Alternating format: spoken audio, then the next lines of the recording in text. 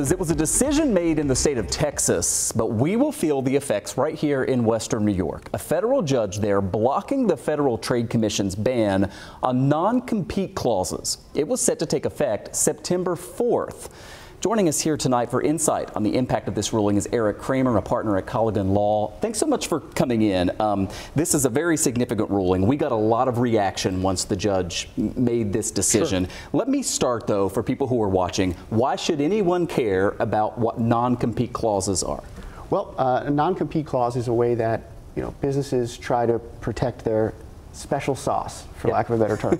uh, and it is a way to keep um, employees from taking what they've learned at your business and bringing it to a competitor to um, you know, potentially compete against you. So the FTC here um, came out with a rule, right? Correct. That that basically would ban these or yes. put in put in place a system to do that. Um, and uh, the the federal judge said what? The federal judge said that um, their blanket ban on non-competes for employees across the country uh, was too broad. And you know, typically on the state level, I know at least in New York, I've litigated a number of these, and they're decided on a case case by case basis. And I think that this ruling, uh, as a result of a case brought by the Chamber of Commerce um, against the FTC, is essentially saying just that. The agency has overstepped here with um, an overbroad rule that would apply all across the country. And you're not um, optimistic for people who might be supporters of this ban on non-compete clauses. You're not really optimistic that this is going to, to be reversed on appeal. No, uh, if if the FTC does decide to appeal, and it, it, it, seems likely that they would, they would be going to the Fifth Circuit Court of Appeals, which is um, one of the most pro-business circuits out there. So their chances there are not great. Um, and then from there, their recourse would be to go to the Supreme Court, which um, after overturning Chevron, I don't think it's likely that they're going to find broad agency action to be, uh, you know, in line with their most recent decisions.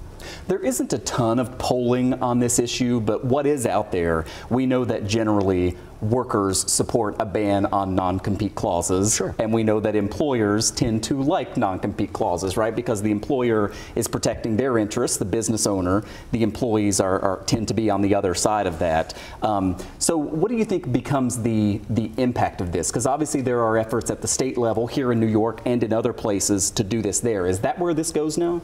Yeah, uh, it, it is essentially a return to the states. And here in New York, um, when someone has a uh, non-compete, you know, there are all sorts of um, ca case law imposed um, barriers on, on those non-competes.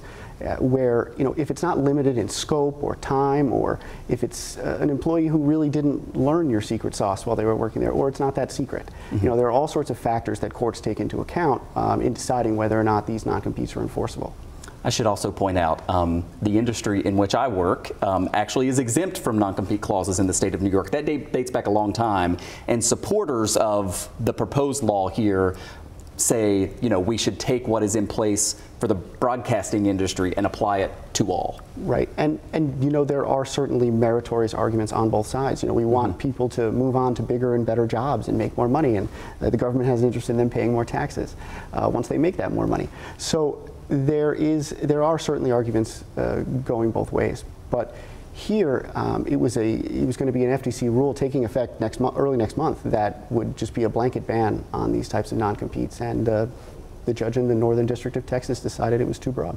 And that is what is uh, so significant here. This ban, scheduled to go into effect very soon, uh, will not happen. Um, Eric, thank you so much for coming in and helping Absolutely. us understand this. It's good to see you. Good to see you as well.